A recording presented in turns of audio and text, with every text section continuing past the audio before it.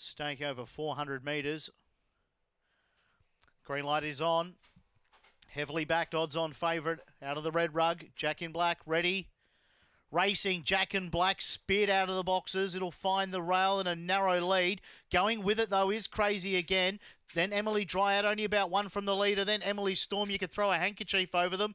Apex Pro was next. Then came He's a Dude. A long way back was Alan Jono up towards the turn. Jack in Black in front. Emily Dryad going with it. Jack in Black holds on. Jack in Black wins. Beat Emily Dryad. Third Apex Pro.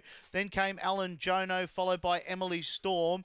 Uh, then through the line was He's a Dude, and near the rear was Emily Cosmic. They were very tight throughout there, and they were, there wasn't much between them all across the line. Time 22.95. Numbers here will be 1,